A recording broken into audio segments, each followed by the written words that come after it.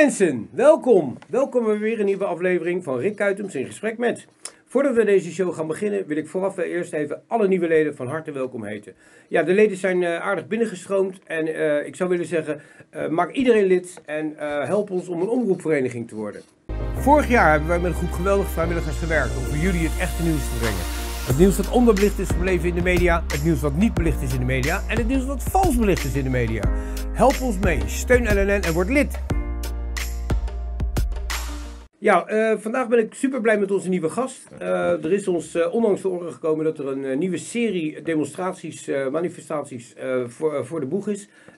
wij zijn op zoek gegaan naar de organisator en we ondersteunen zijn initiatief volkomen. En in de studio niemand minder dan Michel Rijnga. Goeiedag man. Hallo, welkom. Nou, fijn dat je zo korte termijn kon komen. ja, in de format van het programma vragen we altijd of de gasten zich even voorstellen. Dus leg aan de mensen uit, wie is Michel Rijnga? Michel Rijnga, 52 jaar, vader van twee, uh, twee mooie dochters. En daarvoor doe ik het allemaal. Ik vind dat de toekomst voor onze kinderen en kleinkinderen uh, echt op het spel staat. En uh, ik ben het zat, ik was het zat, ik ben het zat. En um, ik ben eigenlijk mijn leven lang zelfstandig ondernemer geweest. 2019 was het jaar van mijn burn-out. En daarna kreeg ik een zware operatie, waardoor ik lang thuis gezeten heb en eigenlijk nog. En, um, en hoe meer je thuis zit, hoe meer je gaat irriteren aan kabinet Rutte. En uh, ja, zo zijn wij, uh, ik, wij, ik praat altijd over wij, maar het is echt ik, um, tot het hele concept gekomen wat nu loopt. Ja, kan, kan je iets meer vertellen over het uh, concept? Want het, het, heet dus weg met het kabinet. Ja. nooit meer in kabinet Rutte. Nooit meer in kabinet Rutte, inderdaad. het zegt het al. Ik draai eigenlijk altijd, als er iemand mij vraagt waarom, zeg ik altijd wat heeft kabinet Rutte goed gedaan? En dan wordt het heel lang stil. Want niemand kan het bedenken. En um, het is een waslijst. Het is echt een waslijst van uh, dingen die fout gegaan zijn, die niet goed gegaan zijn. En dan krijg ik nu de vraag van, uh, ja, coronamaatregelen. Ja, natuurlijk. Maar ik zeg ook eerlijk, er is geen overheid ter wereld die hierop voorbereid was. Of misschien wel, maar het is allemaal niet goed. En dus ik doe het tegen het kabinet en niet tegen de coronamaatregelen. Alleen al, dat was wel de druppel die maar deed overlopen. Ja, want uh, kan je in het kort vertellen, want dat doen we ook meestal in het format van het programma. Dat, uh, wij zijn ook begonnen in april vorig jaar. En uh, ja, op een gegeven moment kwam ook in ons leven corona, het concept, het, het, het verhaal, de, de, wat ineens een pandemie. Hoe heeft dat eigenlijk vanaf het moment dat je het eerst voor, van hoorde vorig jaar tot op dit moment in de studio, hoe, hoe is jouw weg gegaan eh, met de corona en eh, hoe heeft het je leven eh, beïnvloed? Nou, um, wat ik zei al, ik zat thuis met een burn-out, een redelijk herstellende aan het einde daarvan. En um, vervolgens werd ik opgeroepen voor een operatie en die werd uitgesteld door corona. dus het is afwachten hoe lang gaat het duren. Uiteindelijk viel het me mee, want ik heb drie maanden moeten wachten. En uh, uh, ja, drie maanden is in sommige gevallen van operaties uh, heel ernstig. Maar in mijn geval was dat te doen. Um, en ja, de, de, de, irritatie werd gewoon steeds groter. Dus toen heb ik 13 september heb ik een eerste demo op het Museumplein in Amsterdam neergezet. En daar stonden 150 mensen. En toen dacht ik echt, ja, hier ga ik dit niet voor doen. Ik ben een groot denker, ik ben een groot doener. En um, dus ik ben meteen weer gestopt. Ik ben alleen wel verder gegaan op social media. En toen de oproep kwam van de Horeca Nederland om uh, de 17e januari massaal open te gaan, zei ik van oké, dan wordt het eens tijd dat Nederland uh, gaat verenigen. En um, we gaan starten met een demonstratie uh, op het Museumplein. En dan hoopte ik groter dan die 150 mensen. Waar de boeren welkom zijn, waar de kermisexploitanten wel, welkom zijn, waar de zorg uh, welkom is, waar alles en iedereen eigenlijk welkom is uh, die ontevreden is. Ja. Ja, nou, wij hebben inmiddels ook wat steunoproepen gedaan en we hebben in ons netwerk ook een beetje rondgevraagd. Uh, en de, die bereidheid is dan wel enorm. Ja. Als vroeger sommige mensen wel eens zeiden van ja, dit willen we wel en dit willen we niet die roep om verbinding is er al uh, veel langer. En daar hebben we ook zelf meegedaan, uh, daaraan meegeholpen. En uh, ja, wij juichen het ook heel erg toe. En ja, het concept, veel demos vorig jaar gingen over de coronamaatregelen. Omdat dat natuurlijk een beetje, er werd gesproken over collaterale schade in verhouding met de opbrengst van het voorkomen van corona. daar hebben heel veel mensen zich over uitgesproken. Je hebt een hele indrukwekkende lijst sprekers, uh, heb, heb, ik gezien. Kan je daar iets meer over zeggen? Ja, ik, ik heb er veel. Ik moet je zeggen, ik had er een stuk of veertig aanmeldingen. Daarin heb ik een schifting moeten maken. Um, want ja, ik, ik, kan ze niet alle veertig neerzetten. Ja. Uh, uh, en ik heb eigenlijk de definitieve lijst heb ik uh, afgelopen dagen bekendgemaakt. De mensen die afgevallen zijn, daar heb ik de meeste van een berichtje gestuurd van nou, kies uit de verre verloop, want er komen er meer, zullen we straks op terugkomen. Ehm, kies een andere datum uit en dan plaats ik jou ook erbij.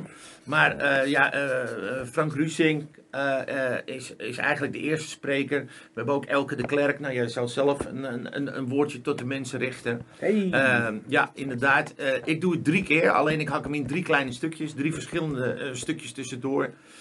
Um, Bob Lewis uh, als uh, horecaondernemer, als semi-BN'er in uh, een mooi televisieprogramma geweest. Maar ook presentator, Bob doet alles. En um, Jonathan Crispijn is, is daar onder andere bij ook weer even een andere blik dan de gemiddelde. Um, en zo staan er nog meer. Ik zal ze nu niet allemaal gaan noemen, maar er staan er genoeg. Ja, hey, leuk. Ja, Jonathan Crispijn die werkt ook bij ons. Die is verslaggever bij ons, onder andere trouwens. En, uh, ze, hij is wat jonger en heeft een, ook een unieke kijk op, op, op dingen. ja, je, je, gaf het net al aan, er is een hele serie. Hè? Het, ja. is, het begint, de aftrap is op 17 januari op het Museumplein. En dan gaat het helemaal door tot mijn verjaardag op het Malieveld. Nou, dat is echt geweldig. Ja, mooie feestje. 14 maart. Ja, ik nodig ook iedereen uit alvast. Ja. cadeautjes hoeft niet, opkomen eraf is ook cadeau genoeg. Maar uh, kan je de hele lijst een beetje doorlopen? Of is dat, uh... Ja, ik, ik kan het je toelichten ook, want daar, laat ik daarmee beginnen. Ik heb uh, geroepen, als, als 17 januari succesvol is, dan moeten we dit gewoon voortzetten elke zondag tot aan de verkiezingen. Een negen weken route, zoals ik het nu zelf noem. En organisatoren konden zich bij mij melden. Ik heb meerdere oproepen gedaan op social media. En het wonderbaarlijke aantal van nul aanmeldingen kwam tot mij. En dan ben ik er wel één, als je A zegt, moet je B zeggen. Dus het zijn negen weken lang mijn demo's door heel Nederland. Ja. En eh, het is niet makkelijk, want het is echt veel. Ik denk dat iedere organisator en iedereen die daar tegenaan kijkt, uh, begrijpt dat het veel is. Ik ben ook nog eens een keer een Einzelganger. Ik, ik wil niemand ter ondersteuning hebben, omdat ik, ik werk vanuit eigen kracht. Dan weet ik dat het goed is. Dat is geen arrogantie, maar dat is ervaring. En um, dus ik heb paar dagen geleden heb ik uh, twee nachten overgeslagen, twee nachten doorgewerkt. Ik heb alle aanvragen bij de gemeentes uh, midden in de nacht gedaan, omdat ik niet wilde dat het op social media uit ging lekken. En, um, en ik heb alle evenementen uh, aangemaakt op social media, dat in ieder geval dat al kenbaar is. Dus iedereen werd ochtends wakker en iedereen had negen evenementen um, in zijn schermpje staan. Uh, we beginnen 17. Ik, weet niet of ik de hele route uit mijn hoofd weet, maar ik ga het proberen. Um, we beginnen 17 januari op uh, het Museumplein in Amsterdam. De week daarna gaan we naar Eindhoven. Uh, de week daarna gaan we naar Apeldoorn. Als ik het goed uit mijn hoofd zeg, gaan we daarna naar Maastricht. Het gaat zeker fout, maar dat maakt niet uit. Van Maastricht gaan we naar Utrecht. We, we, komen in um, Leeuwarden terecht. We komen de ene na laatste, in Den Bosch komen we nog terecht. Ik heb vanmiddag met de gemeente nog aan de telefoon gezeten. Um, uh, de ene na laatste is op de Dam in Amsterdam. Uh, en dan de allerlaatste is op het Malieveld, wat we net zeiden, in Den Haag. Nou, geweldige, geweldige route. Ja, wij, wij zullen zeker aan uh, meewerken. En er zijn van andere partijen die wij al weten, zijn ook al steunoproepen gedaan. Ja. Dus ja, dat wordt geweldig. Uh, ben je verder zelf aangesloten bij een politieke partij of ben je nee. gewoon wat er nu zit zat? Want nee. dat is een beetje mijn verhaal. Uh, nee, ik krijg echt veel mensen die vragen: kun je hier aanmelden, kun je daar aanmelden? Dat doe ik niet. Uh, waarom? dan kan je niet neutraal erin staan. ik krijg heel veel schreeuwers op social media die mij betichten van je bent voor partij A, B of C. Nou, ik heb een hele mooie poster gemaakt. Het gaat niet om partij A, B of C. het gaat erom nooit meer kabinet Rutte. En ehm, na dat weken gebeukt te hebben bij iedereen, dat ze denken: oké, okay, ja, er zit wat in. Ik post net zoveel van Vrij en Sociaal Nederland als dat ik van uh, bij wijze van spreken de PVV post. Dat probeer ik echt allemaal gelijk aantallen in, in te houden. En um, En ineens kwam men er denk ik wel achter, oké, eh, er wordt hier neutraal eh, gewerkt. Ja, je zou bij mij geen post van de VVD zien. Nee, dat zeker niet. En ook niet van de CDA. Nee, het is een heel lijstje. Weet je, en iedereen die heeft getekend voor de spoedwet is eigenlijk af, hè, eigenlijk. Iedereen die heeft getekend voor de spoedwet, die is gewoon af. Die doet gewoon niet meer mee. Die hebben gedeeltelijk getekend dat ze zichzelf wegcijferen. Ja, wij zijn er ook eh, om redenen heel actief eh, door geworden. Ik, eh, en dat is ook niet bij voorkeur van een partij, maar meer een grote afvalrace.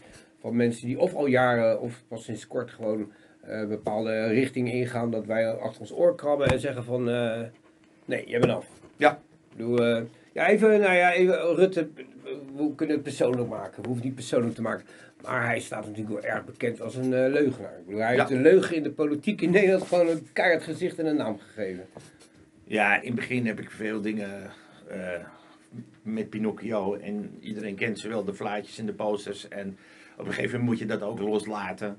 Ik moet ook zeggen, om iedereen tevreden te stellen, ben ik ook iets neutraler gaan posten. Eh, ik durf wel voor mezelf te zeggen dat ik zelf, als ik eerlijk ben, iets harder ben. Maar eh, ja, je wil iedereen tevreden maken, want je wil zoveel mogelijk mensen eh, de straat op hebben. En eh, het moet zondag heel druk zijn. De keren daarna moet gewoon stabiel zijn. Ik gok dan helemaal niet op, op, op weet ik veel hoeveel duizenden mensen, helemaal niet. En dan de ene laatste op de Dam in Amsterdam, daar ga ik echt voor 5 tot 10.000 man. Dat is, vind ik nog niet eens veel, maar ik leg ook daar de lat niet hoog.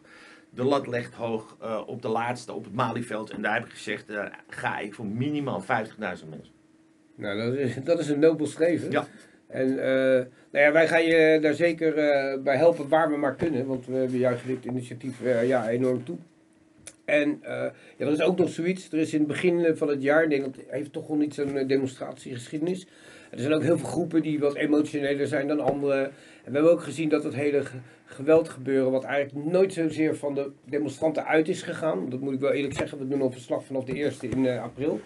En dan blijkt toch mensen die zich het meest uit laten lokken door politieagenten, dat dat toch wat vaker in een clash gaat. Terwijl er is een hele sfeer ontstaan van onder andere viruswaarheid en andere groepen. Kijk, je komt daar niet om eh, geweld eh, te plegen. Je komt daar niet om eh belediging toe tegen politieagenten, want die zitten ook maar van paycheck tot paycheck in die baan en die staan er ook alleen maar tussen. En die proberen de boel goede banen te leiden. Wat verwacht jij zelf van, van de sfeer van, van de demonstraties? Nou, laat ik het eerst even vergelijken met Den Haag en met viruswaarheid. Ehm, de reden waarom ik voor Amsterdam gekozen heb, is omdat ik vond dat er te veel geweld in Den Haag gebruikt werd. En waar het vandaan komt, klinkt heel stom, boeit me niet. Maar het is wel het algemene beeld wat er geschept eh, is. En ehm, ik heb een hekel aan geweld en ik heb een hekel aan politiegeweld. En ehm, dus ik heb besloten van laat ik het Museumplein gaan doen. Mijn ervaring is daar goed. Mijn contacten zijn daar goed. Ik praat gewoon regelmatig. Gisteren elf keer aan de telefoon gezeten met eh, gemeente, politie en GGD. En eh, de overleggen zijn goed en zijn eerlijk en zijn open. En ik vind dat je dan op die manier het meeste bereikt eh, in het leven. Dus dat even over Den Haag, viruswaarheid eh, eh, gesproken. Dan hebben we vorige week de demo in Haarlem gehad van de Vrouwen voor Vrijheid, als ik het goed zeg. Ja, dat waren wij ook. Ja, ehm, eh, een hele mooie demonstratie. Heeft heel veel teweeggebracht, dat dan weer wel. Ik pluk er de vruchten, al zijn het de negatieve van. Ehm, maar ehm, de dames hebben het heel goed gedaan. Alleen, eh, ik zeg ook, dat is niet mijn ding. Ehm, elke demo is anders. Ik denk als iedereen mij hoort praten, ben ik ook geen type om te praten bij de Vrouwen voor Vrijheid. Ik heb het idee dat ik daar naar een Jomondag-achtige eh, eh, zondagmiddag zat te kijken. En ehm, dat vond ik heel goed. Maar het is niet mijn ding. Maar je bent zelf ook geweest in Haarlem? Ik heb de livestream meegekeken. Oké, de live. Ja, ik was er zelf Ja. persoonlijk. En we hebben ook verslag eh, gedaan daarvan. Ja, ik snap dat Jomanda niet zo goed... Ja, ik, ik snap wel het verschil. Ja, kijk, heel eerlijk. Adem in, adem uit Ah, en neem, neem de frisse wind tot je. Hé, hey, kom op. eh, we komen demonstreren. Ja. Dus, maar, ik snap het wel. En, en ze doen het goed, want het moet ook niet zo zijn dat iedereen het doet zoals ik. En ook niet zoals Willem Engel het doet. Dus Ja. ik begrijp dat er een, een, een andere sfeer op elke, elke ding moet anders zijn. En dat snap ik. En ehm, als, er, de- als, als de vrouwen het op die manier willen doen, prima. En als er ooit een homobeweging eh, bestaat die het wil gaan doen, die zullen het weer op een andere. Dat maakt niet uit. Ja. Dus ik heb respect voor hoe Willem het heeft gedaan. Ik heb respect voor hoe die vrouw het heeft gedaan. En ik doe het anders. Ja.